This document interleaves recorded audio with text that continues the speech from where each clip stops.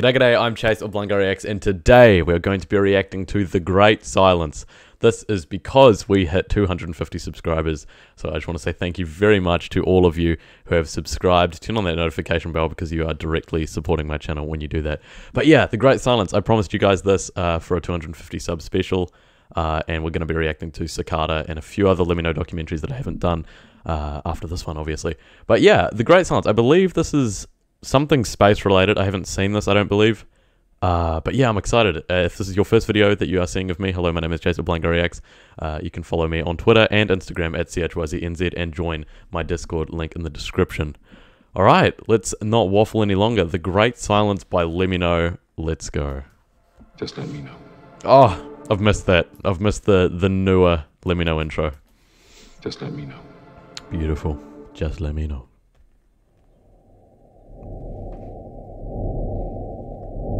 Oh, this is eerie as. Sounds like a alien heartbeat. In 1967, a postgraduate student at Cambridge University by the name of Jocelyn Burnell Damn, Cambridge. So it's what, Massachusetts?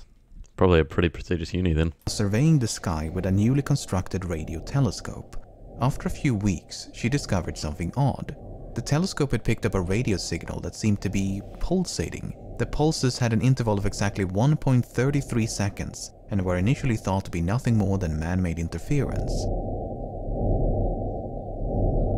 Imagine hearing that. Imagine the nightmare you'd have. Like, you're finding something that no one else has found before, and you hear that. Like, oh, your chills would run down your neck. However, it soon became clear the signal did in fact emanate from deep space, and the unwavering precision of the pulses was unlike anything seen before. Hmm.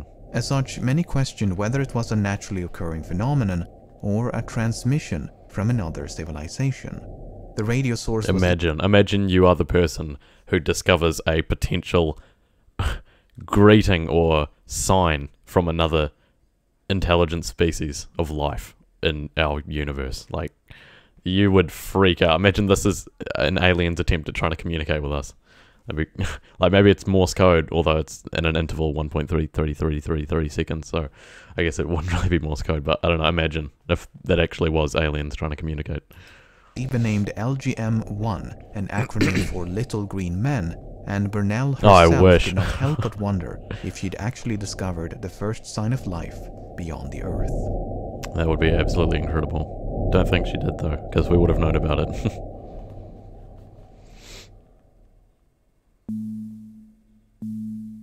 As you might expect, it didn't take long for natural explanations to emerge, and we now know these pulsating signals to be produced by rapidly rotating neutron stars, Wow. as pulsars, that emit beams That's still incredibly cool that we can hear something from so far away in the middle of space, or the middle of our galaxy, but still in space. We're hearing a neutron, uh, neuron. What is it? Sorry, produced by rapidly rotating neutron stars. neutron, a neutron star. So the fact that we can actually hear something outside of our planet and so clearly as well and record it, it's so incredible. Space is fascinating, and I think Lemmino's done a lot of videos on space, and he finds it quite fascinating too. known as pulsars, that emit beams of radiation akin to the beams of light emitted by a lighthouse. If nothing else, it made for a neat album cover. Ever since, an international effort known as the Search for Extraterrestrial Intelligence has actively been listening for artificial transmissions, but so far we appear to be the only ones broadcasting into the void. Humanity has been leaking radio signals into space for the better part of a century, so any eavesdropping aliens within about a hundred light years could potentially be alerted to our presence. It's so cool that we actually have done that. It's cool that we've actually attempted to um, communicate with possible other signs of life. Beyond this invisible radio bubble enveloping some 15,000 stars, the Earth is just another silent speck. Not only that, but as It's weird to think about as well. We are literally a tiny, tiny, tiny blue dot in the middle of pretty much an infinite void. So if you think about how, in a sense, insignificant li- our lives are, I I don't know. It's a weird like step back moment to like think about. Uh, think about our morta- mortality as well. technology improves, this radio leakage is dramatically reduced. Before long, Earth may return to a state of radio silence. If most civilizations improve and eventually outgrow radio technology at a similar pace, the radio signature of any one civilization may only be detectable for a very brief period of time. Hmm. Furthermore, this radio leakage is extremely faint and only grows more and more diffused as it expands into the galaxy. Some of the most Wow. powerful signals to leak into space are military radar emissions and stand a much better chance of detection across interstellar distances than the average television broadcast. The Square Kilometre Array, a vast interferometer to be constructed in South Africa and Australia, could be sensitive enough to detect a faint radio signature of an Earth-like civilization out to a distance of several hundred light years. To detect more Wow. distant signals would require more deliberate attempts at communication. For instance, an advanced civilization may construct powerful beacons specifically to increase their radio luminosity. These beacons would be rather expensive to maintain as they would consume vast amounts of energy for extended periods of time. A less expensive alternative would be a focused beam of radiation as opposed to an omnidirectional broadcast. In 1974, the Arecibo Observatory in Puerto Rico famously beamed an interstellar message towards a globular cluster some 25,000 light years distant. The message took less than three minutes to transmit, so any prospecting aliens in the path of that signal would have less than three minutes to detect it. And- Oh, unlucky. It's like it's like leaving someone on scene. It's like unlucky. and they will never get a second chance. We may have been on the receiving end of such an interstellar message when in 1977 a momentary burst of energy swept across the planet. Repeated attempts at redetection notwithstanding, the famous WOW signal was never detected again, and its origin has never been conclusively ascertained. On the Wow, slim chance that it was of artificial origin, a reply was beamed in the general direction whence it came in 2012. That's pretty much the year that everyone said the world would end too. Also, thank you all for your suggestions on what I should react to. I've found a lot of new channels. Uh, a lot of them historical, a lot of them science, uh, and a lot of them just you know knowledge and uh, what's the word? Uh, informative, I guess. uh, so uh, educational is the word. Um, so I've lo- found a lot of educational channels for us to react to, and yeah, got some cool content planned for the future. Keep the comments up too, because I've been reading In a all of them. galaxy as old and vast as the Milky Way, the probability of two civilizations stumbling upon one another by briefly screaming in random directions is not great. to increase our chances, we need to limit our Could you imagine if our if our galaxy had a mouth and just went, "Ah!" just just like every few hundred years, just to see if it's like it's like whales trying to beam at different, um, like trying to sing at different frequencies and trying to like uh, so others can pick them up and you know join their their what's it called a, a colony. Uh, I don't know, whatever, whatever whale groups are selection called. of targets by searching for other technological and biological signatures. In 1995, the first extrasolar planet orbiting a sun-like star was discovered. We now know that the vast majority of the hundreds of billions of stars in the Milky Way galaxy are home to at least one planet. We also know that Wait, billions what? of those stars in the Milky Way was discovered.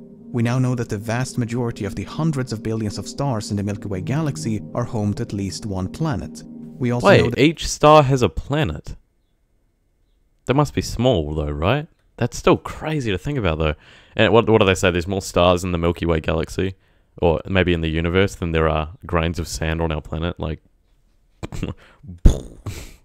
that billions of those planets are of similar size to the Earth and orbit within the habitable zone of a star similar to the Sun. This means that Oh, liquid water could exist on the surface, which is an essential ingredient for life as we know it. Furthermore, billions of extrasolar moons may also be capable of supporting life. With this knowledge in mind, in 2017 a message was beamed towards one of the least distant and most Earth-like exoplanets discovered to date. The message comprised a number of musical compositions and basic information about humankind, and should the planet be inhabited, we could expect a reply as early as 2044. Here's a quick preview of that future. However, habitability is no guarantee of habitation. To determine whether a potentially life-supporting planet is currently supporting life would require a more careful examination. For hmm. instance, by analyzing the starlight passing through the atmosphere of an exoplanet, it is possible to deduce its chemical composition. The spectrum of an oxygen-rich atmosphere will differ from that of, say, a hydrogen-rich atmosphere. Hmm. Given that photosynthetic plants and Well, what is it like? Seventy. The the air we breathe is like what seventy seven percent hydrogen and like twenty two point eight percent oxygen, and then like heaps of other little bits or something. organisms are responsible Little little other chemicals in there as well that make up the air we breathe. It's not because a lot of people. It's not just all oxygen. Like we would die. for the large quantities of oxygen on Earth, an exoplanetary atmosphere with a similar concentration of oxygen could be taken as a sign of life. That makes sense. But also, like, think about what he just said there. Like, each star, hundreds of billions of them in our galaxy, each star is pretty much the sun, and it has a planet, and that planet circling that star can have a moon of its own. So, what he's saying pretty much is that there are billion, hundreds of billions of places pretty much just like Earth, but without life. So, you can perceive that as us being very, very insignificant and not important. Um, or we are, since we are, well, as we know, the only intelligent life force, life, species, intelligent life in our universe that we know of, then we're very, very lonely. There's two ways you can look at that, but I mean, as far as we know, we're the only intelligent species in our planet, uh, in our, you know, in our uh, galaxy. I get the words mixed up. Sorry about that. This is but yeah, it's it's really interesting and freaky to think about. It's a biosignature, but it's far from definitive as oxygen could also be the result of various abiogenic processes. As such, astrobiologists are more interested in certain chemical combinations as it would be far less likely for, say, methane and carbon dioxide to coexist in the absence of life. Speaking hmm. of carbon dioxide, some chemicals can be indicative of industrial pollution, and thus artificially induced climate change could serve as the universal sign of unintelligent life. In a Whoa, that's interesting to think about because, say, they were doing the same thing to us, and you know, if you think about it, we're kind of self-inducing climate change with carbon dioxide. I mean, they could perceive the same thing that we would perceive of them with that. In addition to biosignatures, we may be able to detect signs of technology. For instance, an exoplanet surrounded by a dense orbital belt of artificial satellites or space debris could be detected during transit of its parent star. This would be an example of a techno-signature. A hmm. more extreme example would be a megastructure. Crazy. Also, thanks for pointing out. Um, Internet historian is from New Zealand, so I'm I'm so proud. I'm so proud I found a, a New Zealand YouTuber that makes content that I can react to. Um, but yeah, thanks for letting me know. He he did move to Australia, but yeah, he's from New Zealand. The initial speculation surrounding the discovery of pulsars has become somewhat of a recurring theme. Whenever an astronomical discovery initially defies explanation, vigorous speculation about aliens takes center stage. In more recent years, this discussion has been dominated by a peculiar star some 1500 light-years distant. The star exhibits erratic light fluctuations and occasionally dim by as much as 22%, and so one hypothesis is that an alien megastructure is blocking the light from the star. While evidence hmm. of astroengineering is still within the realm of possibility, the dimming is now thought to be caused by nothing more than dust. The ah, existence of circumstellar megastructures was popularized by theoretical physicist Freeman Dyson back in 1960 as a potential means for advanced civilizations to harness the energy of their parent star, commonly known as the Dyson sphere or Dyson swarm. According to the Kardashev scale, a method of measuring a civilization's energy consumption proposed by astrophysicist Nikolai Kardashev in 1964, a Dyson sphere would be indicative of a Type II civilization. A Type 1 civilization could harness the energy of its home planet. A Type 2 civilization could harness the energy of its parent star. I've heard about these Type Two, Type One, Type Three civilizations. It's really interesting. It's like a, it's kind of what um would you would explain like a first world, second world, third world country as like what attri- like what attributes do, does this have to fit into this certain bracket? I guess you'd say. And I think a Type Three civilization is like super futuristic. I could be wrong. We might be as a Type Three. I've heard about it, but I'm not like educated in it. A Type 3 civilization could harness the total energy output of an entire galaxy. Okay, yeah, so I was kind of right because we're not a Type 3 civilization then. Extensive surveys of billions of stars notwithstanding, there is no reliable evidence of a Type 2 nor Type 3 civilization in the Milky Way galaxy. Well, there you go. I'm glad I've learned something. But yeah, I, I know type one of the types was was very futuristic and not yet discovered uh, or heard of really. So we're type one then. So I guess that's easily explained. it's so sad though. It's so sad that there is no intelligent creatures uh, on any of our other planets. It's so it's so weird and like I guess that's where religion could come into it and why a lot of people believe in God. It's like how lucky we are that we are what we are. We are how we are. We have life on this planet and everything is perfect for us to live and prosper. So it's another weird thought. so far. What about extragalactic life? After surveying 100,000 nearby galaxies for signs of a Type 3 super civilization, astronomers found no signs of a galactic empire.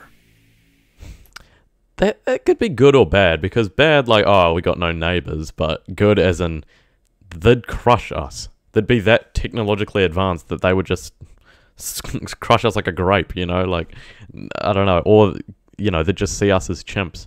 Like, you know, like what's the point in hanging out with these dumb apes who know nothing? like, look at them and their their minuscule, pathetic Type One civilization. it's like, I don't know. I, I'd say it's it's good and bad, but more good.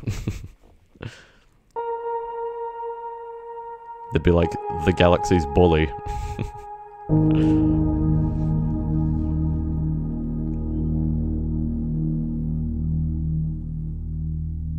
Love how the cinematic great silence of the universe can be a bit unnerving. Human Exactly. It's so scary to think about. I'm not going to interrupt him anymore. I'm just going to let him say his thing though. the great silence of the universe can be a bit unnerving. Humanity is now on the verge of detecting biosignatures on extrasolar planets, but Earth has been radiating detectable biosignatures for billions of years. Yet, as far as we can tell, it's failed to attract the attention of any alien astronomers. The apparent contradiction between the expectation and lack of evidence for extraterrestrial life is known as the Fermi paradox. Given the sheer size and age of the universe, why does it appear to be so lifeless? It is possible to concoct a myriad of hypothetical solutions. Perhaps life is common while intelligent life is exceedingly rare. Well, yeah, like they say bacteria on Mars is considered life, but you know, it's not intelligent life like us. So again, another weird, a weird thing to think about, and that could tie in with simulation theory. Like, how is everything perfect? How is everything so perfect that the air we breathe is just right, the climate is just right, we have everything we need to sustain ourselves on this blue marble, and there are no other intelligent, there's no other intelligent life on any other blue marbles in the known universe that we know of. Like, it's so weird that we are living on this blue marble, the one that has life. Like we're so lucky. And again, simulation theory, it could be maybe it's all just a simulation, and that's the reason that we're here. I don't know, man. It's freaky. After all, it took some 4 billion years of evolution and a number of mass extinctions before humans emerged on Earth. Hmm. Proponents of the rare Earth hypothesis suggest that complex life on Earth is the result of an improbable chain of events, unlikely to occur more than once. Perhaps ah, there Unlikely to occur more than once, bro. That is. Imagine we're just one in a hundred trillion. Like what? I don't know. It's freaky. Never gonna happen again. So that means we'll never find intelligent life ever. I don't know. It's freaky. exists a barrier, either improbable or impossible for life to overcome. If the barrier is behind us, we may be among the fortunate few to have crossed it. Potential hmm. candidates include the emergence of multicellular organisms and the invention of nuclear weapons. If the barrier is still to come, we may soon join the cosmological graveyard of fallen civilizations. Potential candidates Don't include say that. unsustainable climate change and the invention of nuclear weapons. Oof. Perhaps we Yeah. severely underestimate how truly alien aliens can be. All life on Earth is carbon based and rely on water, but life could hypothetically be silicon based and thrive in oceans of liquid ammonia. Just as we hmm. search for life as we know it, aliens may be doing the same. Perhaps an advanced civilization did in fact pay us a visit in the distant past, unless some sort of evidence of that visitation survived for millions or billions of years, we'd never know. Well, I think there was a a painting. I think it was, I think it may be Italian or Rome or Israel, um, thousands of years ago, and there was a UFO in it, and I think there may have been Egyptian inscription uh, inscriptions on on a wall of possible aliens or stuff like that. So it's very uh, ambiguous, but you know it, it could be. So maybe they have visited us in the past, and uh, and we've made contact, and just nothing's come of it though. Who knows? Even a visitation in the recent past could have been misconstrued as gods descending from the heavens. Well, I mean, that would have been a fairly accurate interpretation. Perhaps all Yeah, exactly. civilizations inevitably develop technology that transcend physical reality. For instance, reality could be rendered obsolete by hyper-realistic simulations. By transferring one's Exactly. consciousness into these virtual wonderlands, one could achieve digital immortality. The happenstance offerings of nature would struggle to compete with the promise of utopia. Yeah, I mean, look at what people already envisage, envisage the future as putting your memory and your conscience and your sentience into a, a, a electronic device and then you live forever. It is immortality.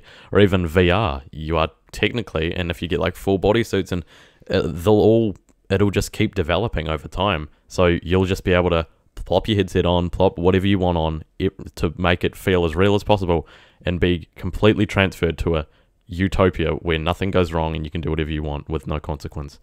So it, it really depends on how, how far it goes in the future. Throughout the galaxy, pockets of advanced civilizations may occupy no more than a few star systems as they explore inner space in place of outer space. In his hmm. transcension hypothesis, futurist John Smart takes it a step further and says Again, another John. You get that reference, and also John Smart. That's a that's a good name. Not gonna lie. Suppose this introverted evolution will progressively miniaturize computers until they are so intensely compressed that they generate an environment analogous to black holes. These Oh, post-biological civilizations would thus transcend the space-time continuum and vanish from the visible universe. Oh, God, Hypothetically that's speaking. freaky. Apart from artificial transmissions I love how he does that. Those jump cuts. Hypothetically speaking. hypothetically speaking. Apart from artificial transmissions and distant signs of astroengineering, there's also a far less remote form of technosignature.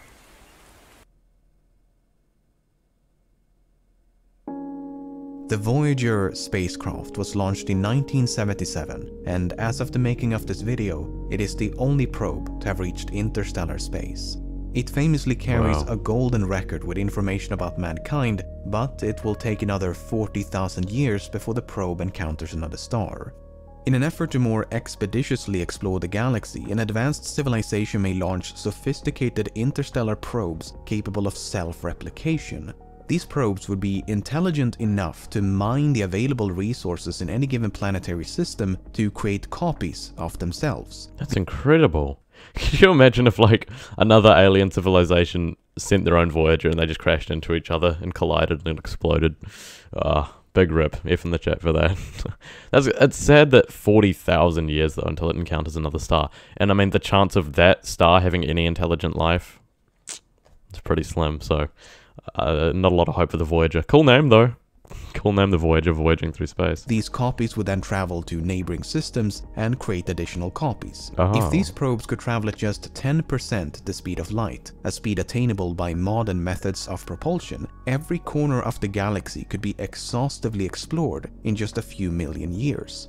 A relatively short amount of time on cosmological timescales. Yeah, true. Mankind is now fast approaching the technological sophistication to launch such a probe. Come on, this Muskie. begs the question, why is the solar system so probeless? If human Hmm. progress is any indication, the galaxy should be completely overrun by self-replicating automata, yet we see no evidence of that. An ongoing hunt for alien artifacts has yet to locate any covert probes lurking in the solar system, but space is vast. An object of extrasolar and constantly expanding. origin could easily be zipping around our cosmic backyard without our knowledge. In fact, that is exactly what happened in 2017. An Recent, extrasolar damn. object named Oumuamua passed through the inner solar system and went completely unnoticed until it was moving away from the sun. Even then, its discovery was pure luck, and thousands of extrasolar visitors could go undetected each year. The size and shape of Oumuamua can only be inferred by the amount of light it reflects, but it appears to be highly elongated or extremely flat. Wow. Initially, it was thought to be a comet, but the absence of a cometary coma, a trailing cloud of dust and gas typically formed when comets approach the sun, lent credence to it being an asteroid. But then the object began to accelerate. This acceleration would be consistent with the outgassing of a comet, but as mentioned, Oumuamua does not display the expected characteristics of a comet. One Hmm. possibility is that this outgassing is simply too faint for us to detect, but there is that remote possibility of it being an interstellar probe. More specifically, a probe using a light sail as a means of propulsion. On the other hmm. hand, Oumuamua is perfectly radio silent. Perhaps it's a defunct probe destined to aimlessly roam the galaxy, much like Voyager. Maybe it was sent billions of years ago. Who knows? So many questions with stuff like that. Like their technology would be different to ours as well. It's important to remember that with a sample size of one, that being Earth, we cannot possibly know how common or rare life truly is. There could hmm. be hundreds of planets or millions of galaxies between us and them.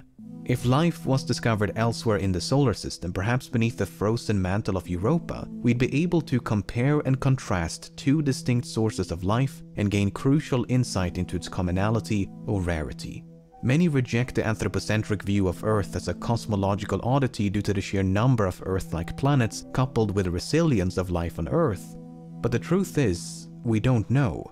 We don't yeah, know it's easy if- to say, oh, there's probably heaps of Earths, bro. Like, it's heaps of intelligent life, but no evidence shows that. So, yeah, there are Earth like planets, but there's no Earth, Earth, except for us, you know? So, I don't know. That, again, it comes back to that thing like, everything is technically perfect for us to live here. if billions of planets is sufficient for intelligence to arise more than once. We don't know the prerequisites for abiogenesis, the transition from non-life to life. We don't know the probability of cosmic solitude.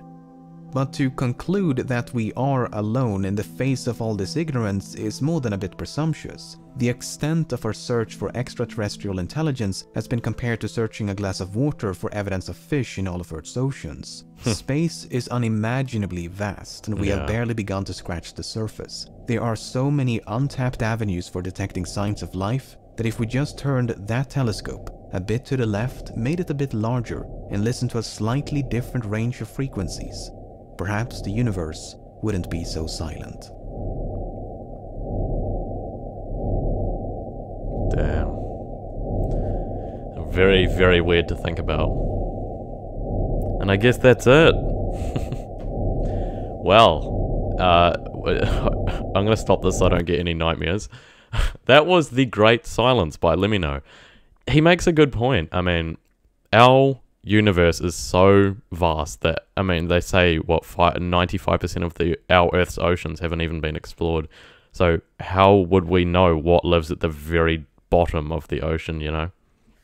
So that was a very interesting and creepy and unnerving, as he said, one to react to. It was different, um, but it really makes you step back and think how lucky I guess we are and how alone we are, at least now. We there is so much we don't know, and that's kind of space in a nutshell. It's a lot of stuff that we don't know about. Um, but let me know your thoughts about this video in the comment section below, and as always, uh, recommend me some new uh, videos or channels or whatever you like, whatever you want me to react to in the comments, because I read every comment, and I again thank you very much for 250 subscribers. Uh, make sure you turn on that notification bell and subscribe if you are new, because we're a growing community. Uh, join the notification squad. Follow me on Instagram and Twitter at CHYZNZ. And join the Discord links in the description. I've been Chase Reacts. Thanks again. Love you so much. Peace out.